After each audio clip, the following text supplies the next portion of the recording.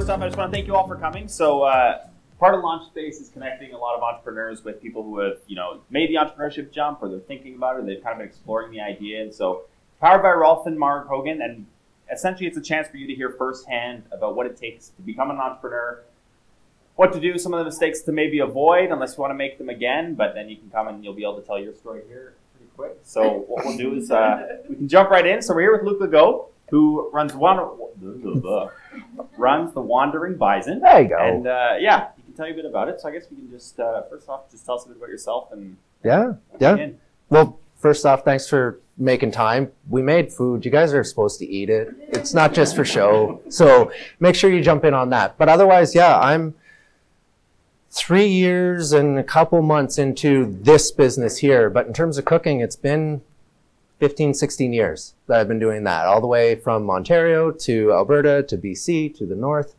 Coming here, this has been, it kind of formed out a necessity for needing to make sure that I was actually still happy cooking. Because being in the north is one of those things where if you're not doing your own, you're doing for someone else. And if you're doing for someone else, you kind of have to follow their rules, which works sometimes, but for the most part, it's not really ideal for someone like me who I don't really like following a lot of the rules. So when I came up here, I helped open the wheelhouse. That was my first sous chef job in the north. Loved it, but it was something where, again, just following the rules of what we were supposed to have, what we were supposed to do, and how we were supposed to structure our days, didn't really feel as great. So the Wandering Bison itself, in terms of the entrepreneur roller coaster, it's been something where started with one plan and direction, pretty much due to public interest, that got pushed aside. And now I'm almost exclusively catering with trying to go back into where we first started, which was barbecue sauces, mustards, bacon, pulled pork, stuff like that, all done local, high end, a little bit better than what the sort of normal piece is. But I mean, catering wise, it's just been incredible. It's been three years of doing stuff I never thought I'd be able to do and cooking for people I never thought I'd even see firsthand, let alone cook food for. So yeah, it's been a hell of a lot of fun. As far as the catering business, and what we'll do is uh, I'll ask Luke some questions, but if you guys think of anything you want to ask, feel free to just throw your hand up and you can ask him as well and interactive. So we'll kind of go that way. Uh, your background, you also have a bit of kind of that the technical sense of cooking as well, because you had done your schooling is in the costing and stuff like that. And maybe explore that a little bit and just how that plays into your business now. Pretty much so culinary is a diploma based program. It's not a degree, but what it is is that anybody can do it. The education system is divided into two sides of you can either do the blitz of an education, which is a little bit more on the college side, what's taught up here, where it's between eight and nine months of cooking hands-on. You're not really doing too much in terms of the costing, the controlling, the yield percentages, all that break apart. For me, I did a two-year culinary program at George Brown in Toronto that taught me a lot about menu cost controls, looking at the science between like, we all do it so naturally, but is the menu open like a book? Is it a trifold? Is it a single piece? They do eye tracking with uh, laser movement on where your eye moves on the menu, so you know where to place. Uh, very expensive, but very high uh, yield item, or the one that you're not really wanting to sell too much of that you know everybody's going to order anyway, you put Caesar salad down in the bottom left. And you do these things where it's always about how do we subconsciously get into a world where we're not trying to force into anything, but we are trying to hope that we can steer a little bit. So there's a big difference between yield percentage, cost percentage, and sort of food numbers where in a restaurant, you're hoping to be able to get one third of everything. So when you go and you eat at a place like Antoinette's or, uh, you know, even some place like Boston Pizza, they're looking at a menu price is 30% of profit, 30% of labor, and 30% of food cost. And in that remaining 10%, that's where you're supposed to pay all your overheads and all of your extra pieces every day is a fight where a fridge breaks down and now your 10% is actually 15 or people don't show up so now your labor cost is really low but the people who are there are burning out because they've just been running too hard. So for catering world it's it's very different in that on the technical side of things i wake up in the morning and i know what i'm doing. So i knew this is what i was making today around how many people were going to show up and around what we were going to sort of source and do if I were in a restaurant, I'd have to be prepared for if 200 show up, but I'd have to have price points for if only 20 show up. So you have to run these numbers and, and, and pretty much it's just a game of a daily basis of how do you source what you want to source? How do you do what you want to do? But how do you not go bankrupt because of how doing it the right way is expensive versus doing it the frozen box way where you don't care if somebody shows up or not because it's all in the freezer anyway. And you pull it out when you need it. And did you have to defrost a little bit more because extra people showed up? Well, cool. Versus, I mean, before in the summertime when the fireweed market's open, I do a lot of weddings every Saturday, pretty much all the way through the middle of May until the middle of September. Every Thursday, I'm at the fireweed market, buying the best that I can, connecting with the farmers, sorting out what it is that I can get as much as I can from right there on the doorstep. And that's where it's really nice for catering because I know how many people are going to show up at a wedding, give or take. You know, there's always the, the wild cards, but yeah. So for yield percentages and running numbers, that's pretty much, I love to cook but a lot of my time spent doing calculations in terms of how much something costs per pound, how much yield you get out of it. Now, how does it, how much does it cost per pound on how much you end up with? Whether or not your labor cost on the prepping of that balances out for the actual sort of money saved on the finished product versus money saved on the end result. And then you go through and maybe there's a, like even for example, onions. Just say you buy a 10 pound bag for 10 bucks and you can buy a 10 pound finished product for 15, well, if your yield percentage is off, then it's actually cheaper to buy the finished product than it is to buy the ready made or the untouched product. So, yeah, these are being in the culinary world makes me so happy. I wake up in the morning and I go to sleep at night with this on my mind. And, but the food is sort of taking a little bit of a it's always there, but looking at even the table right there behind you guys, I know how much each one of those items costs on a per person and proportion basis. I know what I can source locally versus what I can't. If I can't source it locally, it's still traceable. And if I can't trace it, then it doesn't get used. So it's something where this is the technical side that my culinary education taught me. But at the same time, that's the passion that comes from being able to know that you're doing something right versus a, hey, isn't it cool to cook? And you go, yeah, I love not seeing my wife and not being home until midnight. Yeah. Uh, on that, because you mentioned a little bit earlier too, just doing what you want to do, and I guess as far as you know, balancing that cost versus being creative with the food, can you talk a bit about your oh, restaurant? Yeah, and maybe your restaurant experience, not being able to do that, and now deciding to be a bit more creative, where your costs might not necessarily be there, your margins might not be there. So 30% food, 30% labor that 30% food and 30% labor comes from the idea that you don't know what's coming.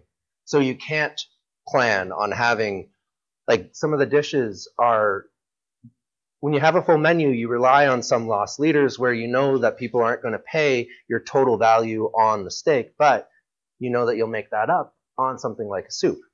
Whereas for me, I know that spending more on local and traceable is really meaningful where my numbers are actually a lot more to the 45% on food and the 15% on labor. Because I can plan ahead, I know how many servers I need, how many cooks I need, how many pieces I need. And I can run with the idea that the better product is always the better choice, versus in the restaurants it was, we want to use a really great product. We've got this local guy growing beans, they're $2 more per pound, let's get some the answer is no, because there go our margins and there go our, our, our. So for being able to do what I want, the the thing that I enjoy is that I will never hide from a question about where something comes from or why I would use that over a different one. And you see me shopping at the grocery stores, you know, you look in my cart, it's there are no no names, there are no other random pieces. It's all traceable. If you don't see something in my cart, but you see it on a menu, it's because I was able to get it locally. And doing the shopping in the moment is also really wonderful because then these menus where I write that I will just get the best I possibly can of grilled veg or lettuces or fruits or that type of thing, it makes it uh, more flexible where a restaurant doesn't have the luxury of doing that. I I can either say that I will always get an item and then have to use it even if it's crap, or I can just say that I always get the best item and never really articulate what it is until in the moment. And I mean, that's the nicest part where I don't have to compromise on whether or not I'm proud of something. It's I see very clearly in my emotions when I'm in a really rough headspace. I can't cook worse shit. It's really bad. Bread doesn't rise, cookies fall apart, uh, soup tastes boring and bland. But when I'm in a good headspace, I feel great, and my headspace gets improved the second that I get to use something really amazing, something territory grown, something when an apple smells like an apple versus when a strawberry smells like an apple. There's there's this difference, and I know that it's different up here with how long a truck takes and food security and all that kind of thing. But really, it's about I don't have to buy strawberries that look like a strawberry but taste like an apple because there's no flavor left. I can just say that I'm not using those and instead we'll go to holy crap those are really good blackberries that came from BC or something. So yeah, it's I feel like I don't have to compromise as much on my integrity when I'm working for me than when I was working in a restaurant and still had to answer to somebody who was like, "Hey, by the way, you guys are supposed to achieve a lot more with a lot less, so you should get on it." So, yeah, it's I don't miss that at all. So if we take then, you've decided to leave the restaurant industry, you don't want to cook someone else's food, so you go to the Wandering Bison, and I guess walk us through how that idea started, what it first started out as, and then how it evolved to where you're at now. Where, yeah. I don't know what the main goal of starting a business is, aside from try not to go crazy, but it was something where I was cooking at exploration camps where fly in, fly out, helicopter for 20 minutes and be in the middle of the bush cooking off a generator in a wall tent. It's awesome, but I'm gone for four to six weeks at a time. And so it was something where while Erin's at home, she's very skillful with sides or quick little sautés of veg or something like that, but the proteins were missing. Original Bison idea was compete with M&M meat shops, utilizing local, doing fresh, using what I can from around here, all pronounceable and, and simple versus an ingredient list that long, and hopefully you could pronounce half. So that's where it started. And then it went to barbecue sauces and mustards, which were always a passion. Uh, I love deep south barbecue, where it's it's not all about white sauce or mustard sauce or that kind of stuff. It's like the the classic ketchup sauce, like a bullseye, but just done really well. Yeah. And so when I was at Independent doing a, uh, a vendor day, I got approached about the idea of do you cater? and you're a new guy, so you say yes to everything because who knows when the next thing's coming along. And that ended up being that I put a quote and a bid in for the Premier's Conference. And that was pretty intense because when I was in Vancouver, I was working for hotels like the Pan Pacific and the Hotel Vancouver, these really big ones where we had we had contracts where we cooked for the entire NHL. Every team that came through Vancouver, we cooked for them and we had very specific dietary needs and and to the extent of this many sweet potatoes, this weight of pasta, this style of chicken breast done this way, steaks done with this much but not that much. And so pulling it through, this worked really well for me when doing up a matrix for how the premiers, they're plus 200 extra people, keeping it organized, keeping it pieced together, that that world spread very easily into this new one. And I mean, it sort of went from there where I still love the barbecue sauces and the mustards and making bacon from scratch and using all these locals. But the catering, once I did that one, that snowballed into I was at that event. Can you do this one? That went into, hey, Will and Kate are coming. Can you cook the food for Will and Kate?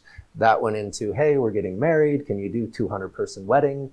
Uh, did a 190 person, four day, five meals a day event over last summer, which was insane using as much local. We they went through, so this is a, a group of doctors and physiatrists who are meeting all over the world. They went through for 150 people, they went through about 150 pounds of salmon. It was almost a full pound of salmon per person because this is what they wanted. So they were they were literally going to the buffet and taking a half side of salmon per person. It's it's the way it goes sometimes. And so that made it that like during that event, Teresa was there with me, Josh was there with me, everybody like all hands. Uh, my Fitbit told me I pretty much walked to Haines Junction in that five day period. So it's that's what you do. Erin knows I was I was actually physically at the KDCC from 5 a.m. until midnight, all the way through that. And it was sadistically invigorating, let's say. so yeah, it's, it's something where you, you, you do it because you love it, right? And so that just sort of snowballs and turns and turns into something where when you, when you wake up knowing that you get to do what you want to do, then yeah, the long days start meaning less and less, and the late nights start being something where you still have energy to come home and, and do something fun. It's not quite so damaging to you personally when you get to do what you want versus the glorious world of doing for someone, always doing what they want, watching them walk out early, watching them have that life on the weekend where you weren't able to take the time off because they already had it. Yeah. So yeah, it's it's progressed there, and now um, we sort of talked that I went as far as I could in the first tier of me working 20 plus hours a day. And we took the next step of hiring Teresa on full time so that now I'm sort of in the second tier, but on the bottom. So I, I kind of, I dropped a little bit in terms of what I'm taking on, what I'm doing, what I'm organizing, what we're piecing together. But now I have greater growth potential because I was at the absolute. I couldn't do any more. Running full tilt. Running full tilt, making myself sick, not not eating well, losing weight, doing all that kind of stuff, and it was mentally great, but not physically. Physically, it took a little bit of a toll. So, so speaking of uh, some stress, then let's also talk about money. And as far as you know, buying the stuff needed to actually start running a catering business, start running your barbecue sauces and stuff like that. What sort of capital did you tap into, or what were those initial expenses like to kind of build stuff up that way? Well, that's the thing. Um, so Eddie and Andrew and Brian are awesome guys, but opening a restaurant in this town, especially, it's it's a lot and the reason why it's a lot is because lease rates in this town are just crazy intense. Restaurants who fail, which has happened in this town, uh, it seems like they just drive a truck through their kitchen on the way out the door and they just smash everything up. And, and the used equipment that you can get really isn't worth all the time that it would take to fix it up afterwards.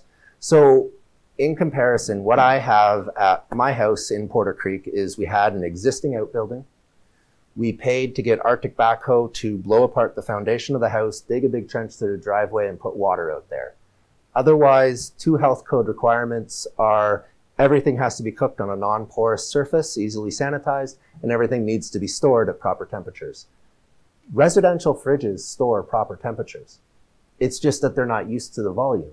But the nice thing is, is in this town where nobody really likes to work on weekends or in the summer or anything like that, everybody fixes residential fridges and they're cheap versus commercial fridges. There's one guy in town. And if he doesn't really feel like coming out, he doesn't.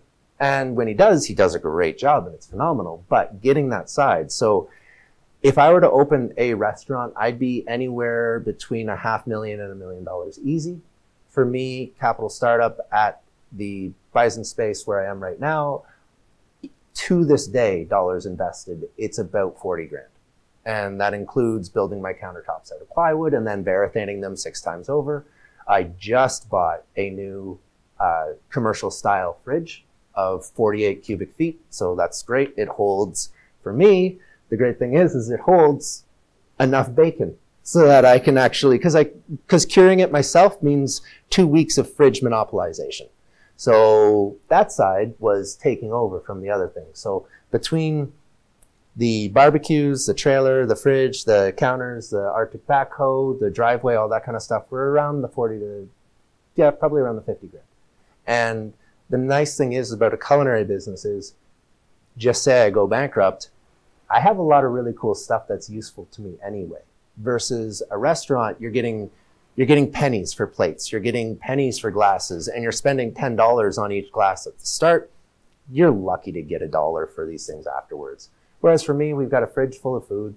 We've got a really big fridge, which is frankly too big for any sort of house on purpose. But at the same time, it's, it's great to have. I've got three barbecues now, which I can throw really great parties with. And, you know, I, I've got some stuff where if I were to decide that I was no longer going to do this, there would be a little bit better on terms of a return for usable products that have a use for many more people than besides those who are in the restaurant industry. So pretty much I'd have to get rid of my sink and my deli slicer. Those are the things that most other people wouldn't have a use for. Yeah. But otherwise I got two beautiful barbecues, a trailer, or this or that. Fantastic. There's enough there to to not sink me, I guess. Yeah. And you talked about just going bankrupt, and a lot of people in here might be thinking about making the jump Yeah. and wondering what if. And one of the things that we had talked about beforehand, but you just asking yourself, you know, what if you fail? Like, what's what's the biggest risk? And can you kind of talk a bit about your mentality in terms of making the jump? And the uh, the jump into entrepreneurship has been the the the the greatest transition that I've ever had in terms of a career because what it did was it, it allowed me to really evaluate whether or not something was truly important to me or whether or not it was truly important to the business. Because having something important to the business can be useful to me, but if it's not, kind of like what I said about my food, if I don't believe in it, then there's no reason to do it. And so when you're starting up a business, every single person who you've ever had friends or relations or anything like that is going to ask you a couple questions. Most of the time, they're going to ask you, why would you ever do that? Are you sure that's going to work? You've got a regular job. That will pay you well. What about your retirement? All these things. Everybody continually asks you, what if you fail? And the weirdest thing is that the bank will do it, everywhere else will, but nobody ever asks you, what if you're a success? And if you're a success, are you prepared to work 150 hours a week, see your personal life and your personal pieces fall apart or disappear for a while and come back? All of those things end up being something that if you don't ask yourself about the successful side of things, then you're just going to end up being doomed to miss out on how awesome it is because failing sucks. It does. There's a lot of times where you make a decision and you go, you're an idiot. Uh, of that 50, 60 grand I've spent, I'd argue 10 was on some stupid crap that I don't use anymore. I don't need. I look at it and I go, I got to figure a place for that because, yeah, it's still sitting there. But for the most part, I think that the craziest part of getting involved in something for yourself is the, it's almost confusing how quickly people embrace something when you show them how passionate you are about it versus the thing that I think we're used to is that people sit behind a computer and they try and encourage people to do what you want them to because there's this really cool picture of it. My food has no pictures because I don't have friggin' time. I take a picture, usually the picture that I get is of dessert because everything else was just so last minute on the way out the buffet or on the way out the door that there is no ability to take a picture of it. But if I were relying on what it is that generally people do is take a picture, promote this glorious life. Look how happy I am because I'm an entrepreneur. Isn't everything wonderful? And you go, yeah, I know what you actually did to get there. So I don't, I have my phone and that's it. That's all I take pictures with. That's all I do. To be successful, it's something where I think that that's the side I'd rather be on versus I don't have, I think I have maybe like 500 Instagram followers or something like in the world like that. It, it's pretty lame. Most of the time, people who like my stuff on Facebook or something like that, they're just random friends. The reason I do this is because I have never been able to connect with people in a stronger way than when I get to do it for a meaningful event for them. Be it a wedding, be it a party, be it a, like, in March we have a 70th birthday and then in April we have an 80th birthday party being thrown. These are the reasons why being able to be passionate and love what you do versus love how, hey, I'm an entrepreneur, it ends up being something that you can actually slide in and take pride in it versus I got a cool paycheck or I get to put my own personal name on my own personal business card and hand them all out. It's a different feeling when somebody stands up at the end of the day and says thank you to myself and my team. They really made this event possible. They're like let's let's thank them properly for this. So yeah, it's it's when you wake up and you think about being an entrepreneur and you think about doing what you either already do and love or are not doing but still love. The question is whether or not you could actually enjoy doing it for no money and then think about whether or not you could convince somebody else to pay you to do what you actually love anyway. Because right? that's that's what you do first thing in the morning when you get up. You know that you have a good product. You know that you have the skill and the love and the passion and the, the ability. My main job is to convince people to spend their hard earned money that they worked hard for on what I will work hard for versus a would you like to go to Subway and cater your, your dinner with a six foot party sub? Or would you like to do something where we will connect on a personal level? I do 100% custom menus. There is no choose this one and I'll make it.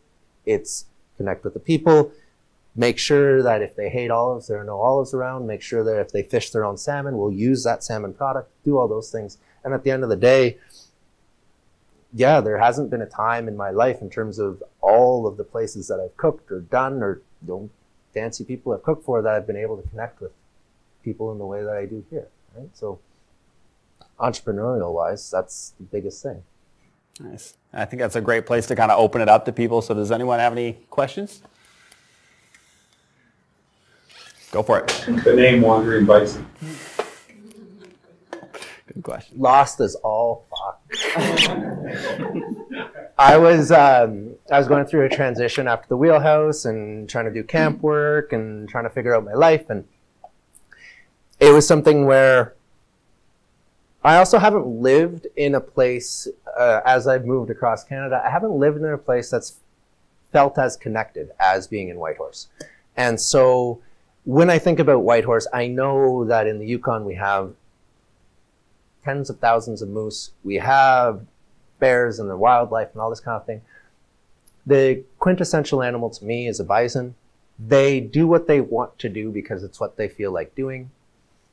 When you drive past them outside of Muncho Lake, because you're as you're going past, they don't care what you're doing. They, Erin and I went on a vacation and we borrowed a friend's uh, Ford Ranger.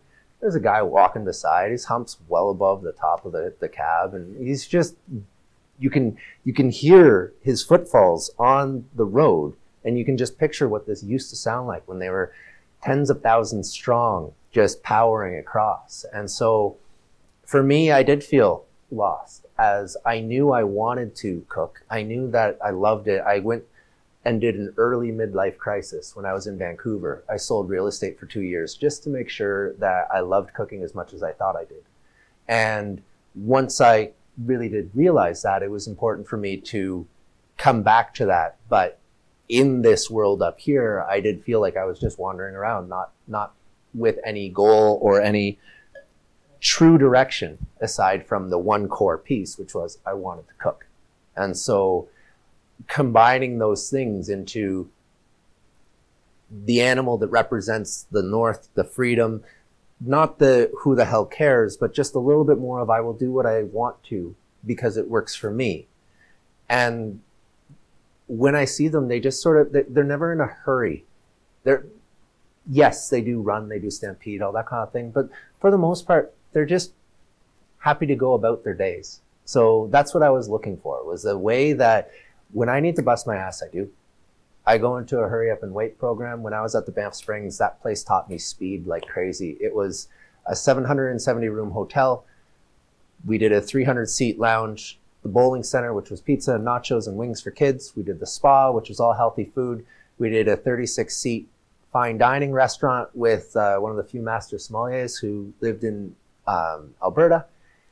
And there was three of us cooking the dinner time. So every night was just two guys on hot and one person on cold, and we made it work. And so I can move when I want to, but that's the thing where, yeah, a bison is just to me kind of like how we all have our sort of power animals or something like that. That's mine. So. Any other ones? Yeah. When you first started, yeah. um, did you find that you had any resistance or criticism? And if so, how did you get over that? So when O'Shea and Lauren and I sat together to talk about this, there was a uh, conversation we had where it's like, yeah, at the start, I had a lot more people reaching out and going, we want lunch for 20 people and we've got $15 a person. So isn't that great? Think of how many dollars you'll get. And you go, you're asking me to do what I will always do, which is source locally, pay the premium because it goes to the farmer, it goes to the person that you care about. You can see that, but you want to do it for the same price as you can go and take people to Tim Hortons. And so it was very strange feeling to, to be knowing that I was only going to do this business and then to turn down business because of sticking to the principle and the value of what you do.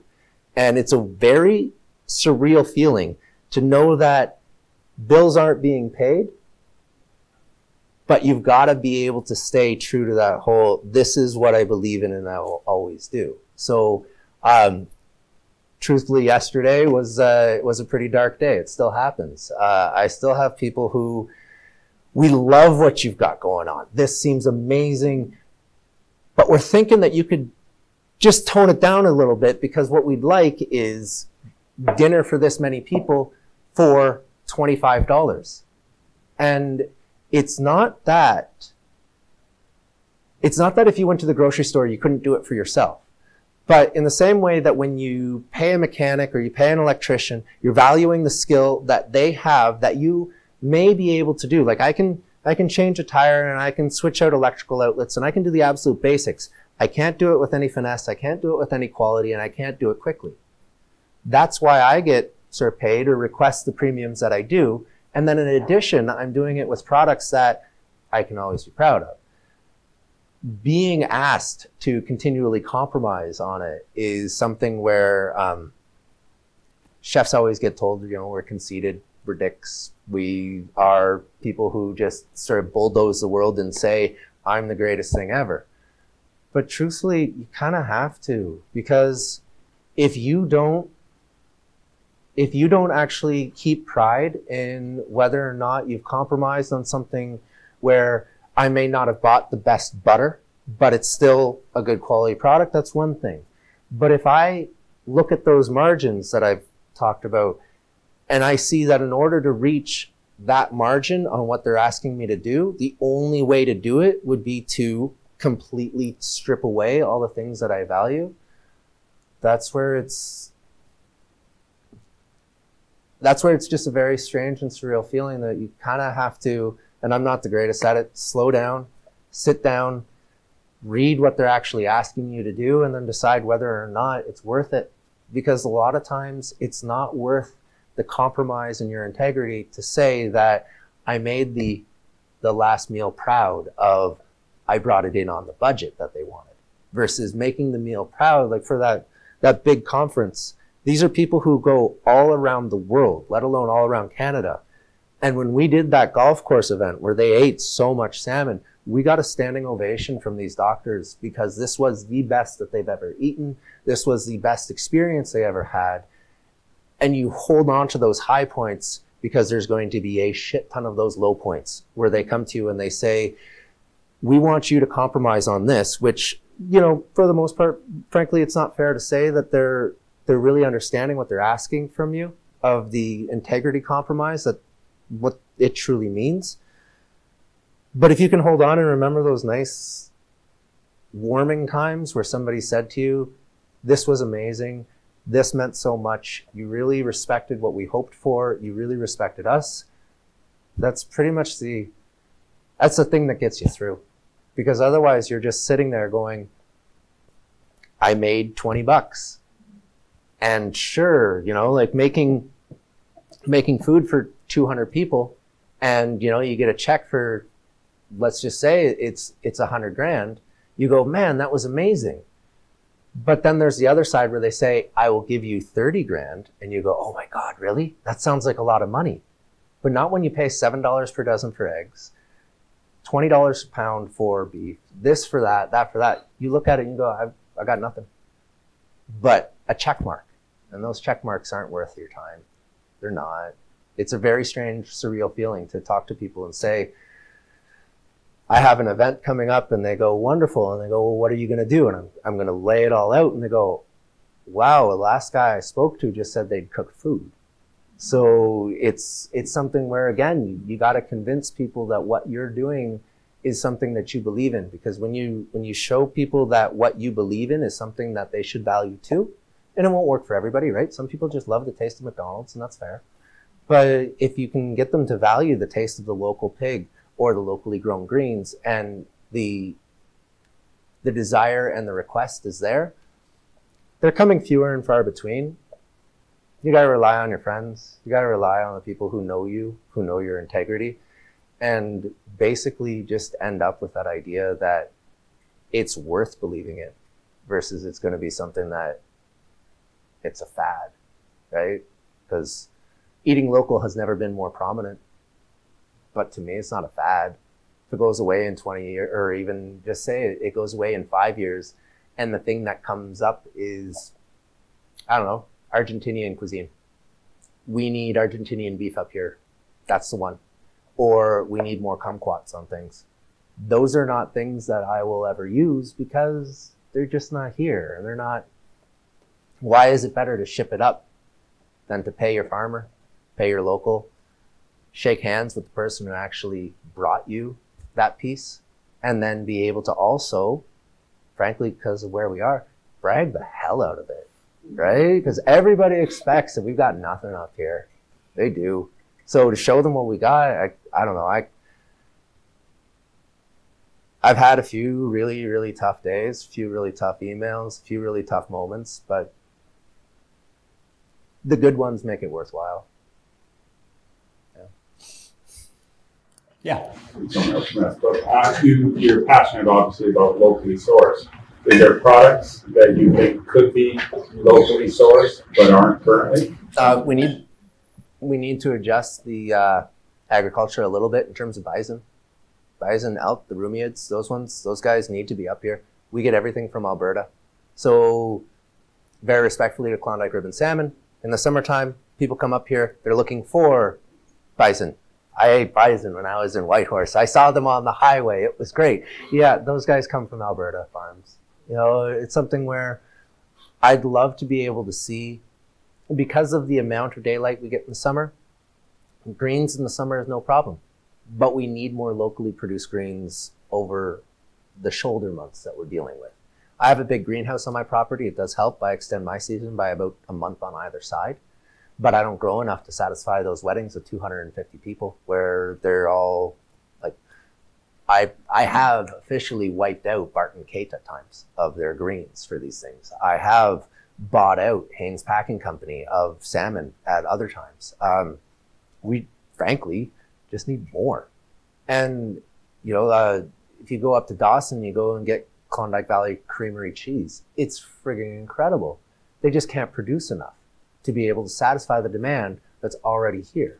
So really, I think that the thing that we just that I would just like to see is that anything that can be done up here should be done up here. So the cattle that we get, they grow more slowly because it's freaking cold in the wintertime. So you can't get this 14 month old cow who's as big as a Calgary cow, right? Just doesn't happen.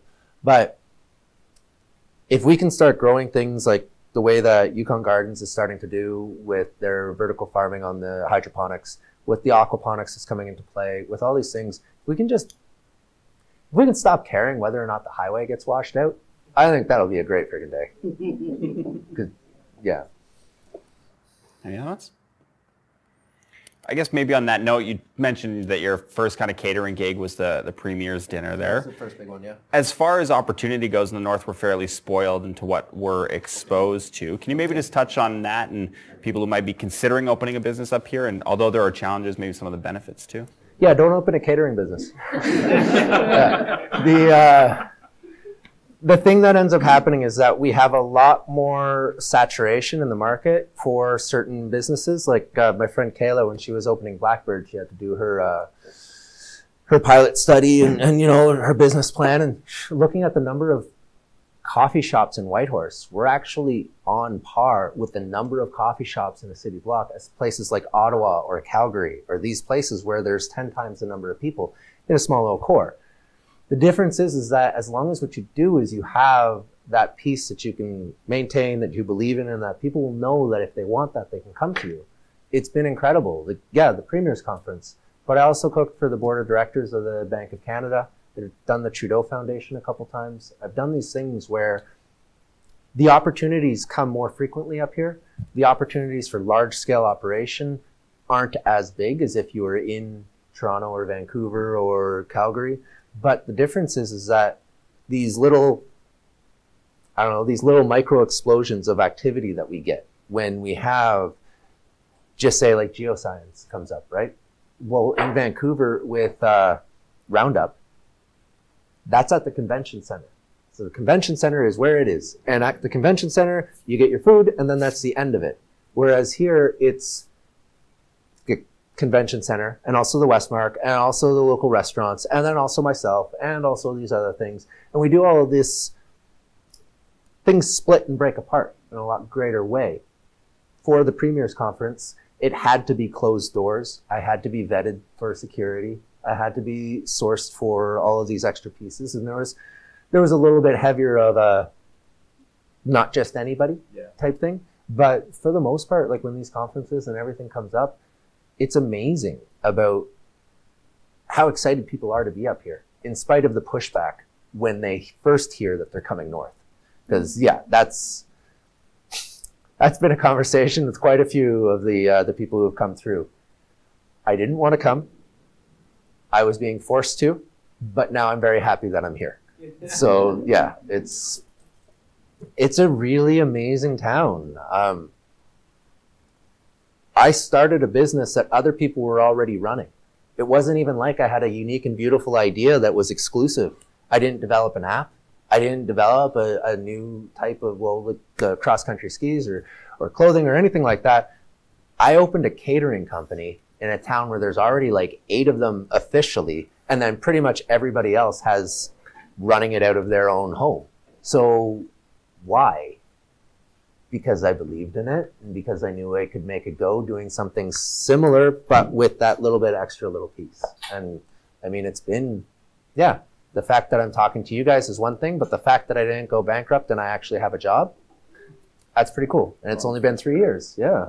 So we got time, right? As far, maybe in that same vein too, at one point do you think you'll ever be in a place where you're going to say, yeah, I'm going to step back and let the business run, but maybe not be as, as much of an active participant in it? Or I don't know how to do that. I actually legit, nice, Sonny. I'm a distributor. I think the uh, the point of opening your own business is to be able to steer, direct, and create. Um, you want to always know that the business, regardless of your input, is going to do what you want it to.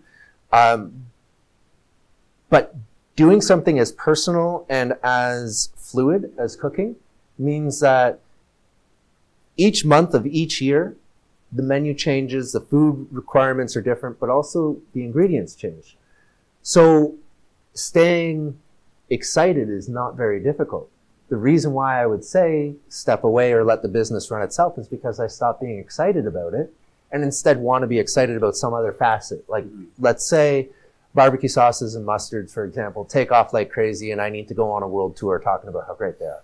I don't know. I friggin' doubt it. But the other side to it is that that would happen if I started to lose interest in how great what I'm currently doing is. And so far, considering the number of hours, it's only been three years, but I'd argue it's actually been closer to six or seven years. I'm not tired yet. You know, there's still, I've got menus coming up in the summertime that are absolutely brand new, never been before. Taking ideas from other items that I've made and putting it into a new dish or a new piece, be it like a five course plated or like a nice big buffet, or mm. using from other people. So, letting a business run itself is something that I'm actually just not sure if like running a franchise type of thing like Boston Pizza or Subway, like that is so regulated and regimented that doing like what I'm doing, I don't actually see that that would be an option because I use local, I shop local, I sort of do everything from within the closest border that I possibly can. So opening up a, a satellite company, say in, in Calgary, the business would no longer be this business. It would be something different. Then. So I, I don't really think that it would work for me in that way. More or less, the wandering by the Ms. Is Luke Legault, and in spite of the name, it's a misnomer. I'm not wandering. Yeah, so not anymore. Yeah. Any questions? um, with the, the health regulations and like the city and stuff, how, how long did it take for that process? Like, was it difficult dealing with um, opening your own on your home base, home Good base question. business? It was actually something that, due to the history I've had in the kitchens, because I've been so before I opened it up, I had I had worked for, so my culinary school being two years. Well, I also worked full time during that culinary, and that was at a golf course and another small restaurant while in Ontario. Leaving there, and I went to the Banff Springs, really huge hotel, but still the same health requirements. Then I went to Vancouver and I worked for small and large catering companies. I helped open the Dirty Apron. I helped with the Pan Pacific or Hotel Vancouver.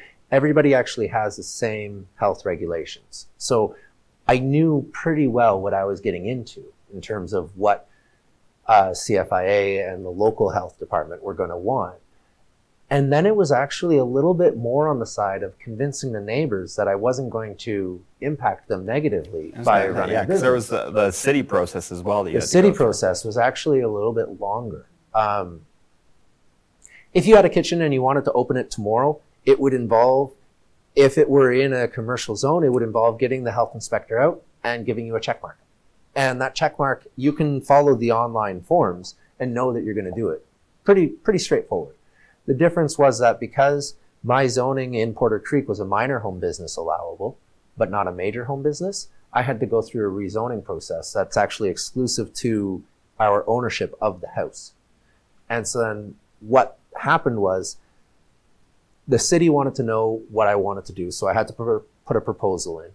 Then they did a mail out. Thankfully, I back on the green belt, so it goes 150 meters in radius around your house. So thankfully, behind the house, there's nobody to ask. So down the street, no neighbors had a problem, but going before city council, they had questions. Uh, increased garbage from all of what I was going to be doing. So to answer that question, it was, well, isn't the increased food waste going to encourage bear activity in the neighborhood because of how you back onto Greenbelt, they're more likely to come into your backyard. So to talk to that one, it's actually poor business model to have a lot of food waste.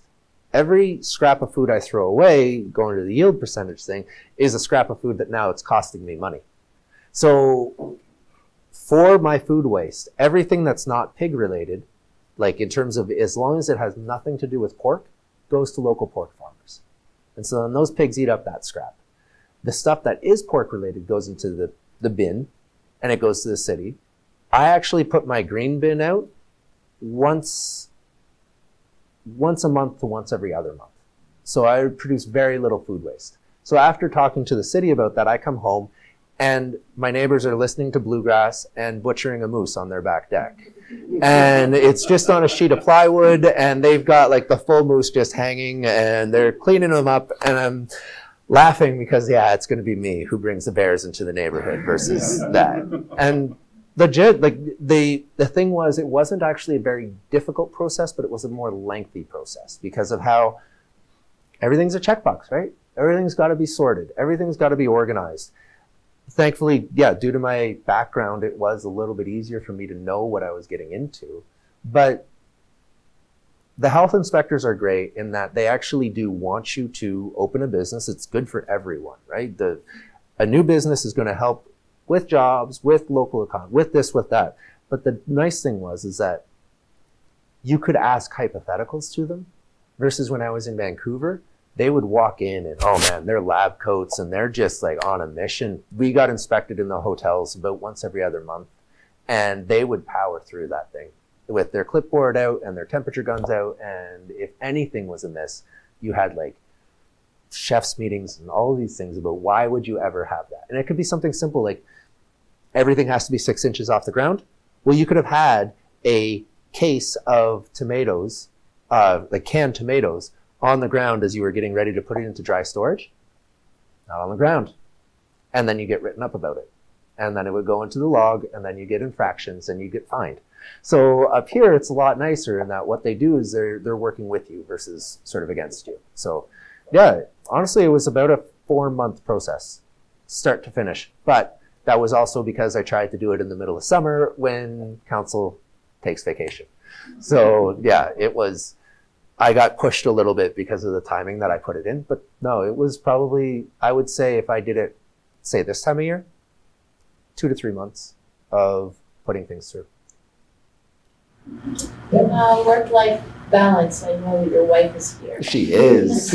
What, tell us about, so, and, and, and, and just a handful of these folks are future restaurateurs or restaurateurs now, but how do you, what, or do you do it, or you just, just, how do you do it, or do you not? Okay, from my point of view, we're freaking great at it. Uh, the um, yes, from from my side, uh, I think that the thing that really helps out is that because I'm doing what I love, it's not so physically and mentally draining as if I were at a place where, if I were working, let's just say some job that doesn't appeal to me, if, if I were being an electrician, and I were having to do all of these long days or even just regular length days, I would come home at night and I would not be wanting to do anything. I would not want to make dinner, go out, take the dog for a walk, spend time together, do anything like that. I would just want to be done. So for our work life balance, it's a little hectic and chaotic in the middle of summer where like last summer, for example, not including the uh, big 190 person event, we did 14 weddings between the end of May and the middle of September. So that's pretty much every single weekend. And not just a weekend, but it's about three days leading up to the weekend. Uh, Wednesday is grocery shopping, Thursday is prep and to the market, Friday's prep, Saturday's the wedding. And then Sunday's a rip apart of the kitchen because we left it a disaster so that we could spend a bit of time together. In the wintertime here, it's actually really nice and quiet. And so we try and take time now. Um, what I'm getting better at is something I learned in real estate, which is never tell somebody that you have something personal to do. Instead, tell them that you have al- already an appointment scheduled. So that appointment can be personal time with the wife or a dog walk or something like that. People don't respect the idea of you going to watch your kids play, but they respect the idea of, oh, you already have an appointment scheduled. And so then that type of thing, it's an appointment for you. It's in your book. It says that you will do this at this time because it's what's important. So cooking dinner with Erin or sitting out on the back deck in the middle of the day where I've got an hour because we prepped up and we're looking good. You take those little micro times where you can and sort of let them know you appreciate when you can, not just like the whole Valentine's Day and flowers or an anniversary or something like that. If you do it in little pieces as often as you can, it, it's I'll find out later if I'm accurate, but I think it I think it works. Why wait until later? Let's just ask her now. Jared, yeah. Yeah, you, you, you kind of already talked a bit about the sort of um, getting the business franchising or whatever, but I'm curious about, you may have already spoken to this, I'm sorry, but um, but other ideas of growing the business in terms of creating a product that maybe would be shelf stable that you could sell or export that would be, you know, still carry the essence of what's important to you is some sort of is that is that interesting to you in terms of whatever it's a, a bottle of barbecue sauce or whatever whatever it might be. And then the other one would be like, you know, any thoughts about you know creating an actual retail spot, a restaurant, um, and, and and and doing that either in addition or as a pivot like just curious about it. I love what you're doing. I don't want you to change No, no, no, I, I don't take your question that way. Don't worry. Uh, in terms of going to the CFIA guideline, uh, Canadian Food Inspection Agency, uh, in order to ship anything across the border, it has to be federally versus territorially inspected. That federal inspection is insanely expensive. Now, because I would be shipping a food product versus something like coffee or Freeport Jenny's tinctures or stuff like that, those things aren't considered food, so they can ship without any extra pieces. Because I'd be doing food, it would be very crippling to pay the financial piece because the financial piece would all be on me. And we're talking north of about forty-five to fifty-five thousand dollars to get it inspected at the start, and then you have to keep up with those inspections. So you got to go huge. You got to go huge to make it worthwhile. Now, the difference is you go huge because you have the infrastructure. So do you get inspected first before you have infrastructure, knowing that you're going to be able to be popular, or do you pay the money to go get that infrastructure, hoping that you'll be popular enough to make it worthwhile? And that's where, for me, like, uh, so at the start, what we talked about, it's around the fifty thousand dollars that I paid year or inception to date for the creation of this business. Starting a restaurant, the expenses are continual, but they're also just they they seem to renew every day with this randomness that you didn't expect, and all of a sudden it's like, hell, this happened, right? I can because I know when my events are and because I know how things are going, I can deal if a fridge goes down because I can organize and know whether or not it's the priority it truly is.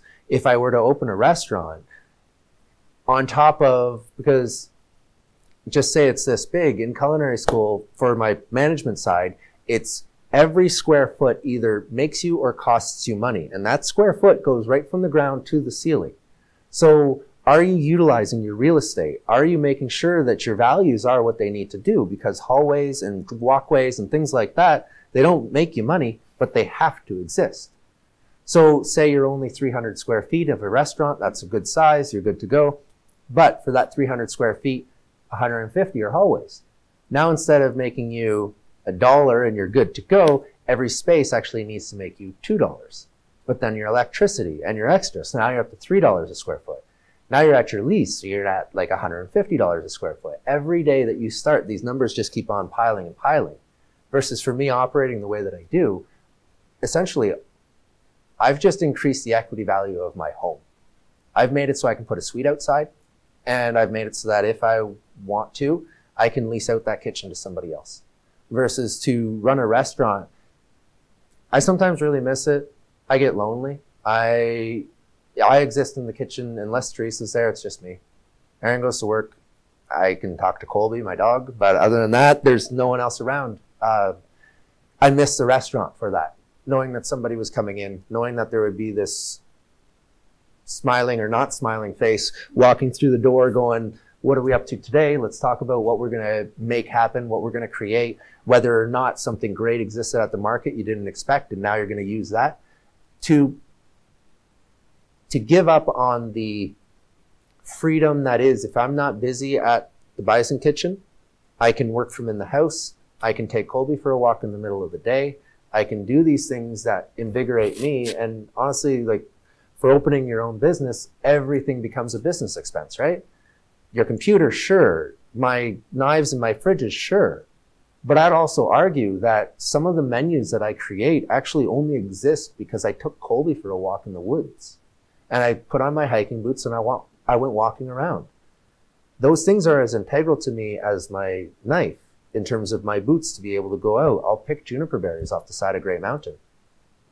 Being able to do those things versus not being stuck per se, but just having to be at a restaurant, even when it's not busy, or even when you're closed, or even when you're just in a prep world because something's coming up. I don't for right now, and this is me talking today versus in two years, right? But for me right now, I don't really see that the way I'd like to do it is a restaurant. Um, if you guys have been to Vancouver and gone to the Dirty Apron, I helped open that cooking school, and that's what I'd like to do instead. They have a delicatessen where they make a lot of their stuff, almost all of it, from scratch in house all the time. They put on cooking classes with people who come in who want to learn it's not necessarily for people who already have a cooking background. We would do it for the hockey wives when their husbands were playing the game and they're bored of watching their guys play. So they come and they do their cooking classes with us. Doing something like that where I can still connect on a personal level is also really important because being in the back, even if it's an open kitchen, still head down. Maybe I get a wave on the way out the door. Thanks so much. It was great but I can't really connect with people and see the light in their eyes show up when they learn a new skill. How to how to peel a frozen salmon in like three seconds is something where when I do private events at the houses and I show just these little skills that are common to me, simple to me, but make the scariness that is preparing dinner that much less scary. That's where I think that I'd, I'd find more passion than opening a restaurant and going from there. Maybe one more and then we'll wrap it up. And then you guys, if you want, you can eat more food. Yeah, you yeah. eat eat some cookies. I just wanted to commend you on speaking to the fact that uh, being an entrepreneur sometimes can be lonely. I think you're the first person that's ever really hit on that point, but it is something that I myself find occasionally where you know, we, we distance ourselves from, uh, you know, busy spaces because we need to think and we need to focus. Sure. And then we find ourselves alone a lot. A lot, a lot, a lot of the time. But I think that, uh, I don't, you're the first person that ever really, you know, put a finger on it and say, well, yeah, that's something that actually happens, that does exist. So, I just, I don't. sad that you agree type thing, right? Because it sucks, right? Like, Well, it does suck, but it- yeah. And you know, like it, it, it's one of those things where you can still go for beers with friends, right? You can still go and connect with people. But I think a lot of people who let's just say a, a government, a, a Yukon government job where you're in your cubicle and that kind of stuff, it's those simple interactions where somebody just walks past and says hi, you know. And and Erin teases me about how much is how much I'm on my phone or that kind of thing. I do get those little dopamine kicks from when somebody sends me a text, either unsolicited or because they respond to what I sent.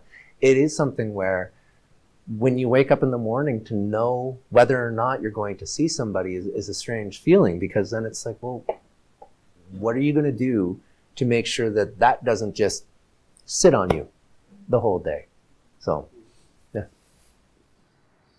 Awesome. Well, yeah, I'd like to thank you, and uh, let's give Luke a round of applause for coming in. And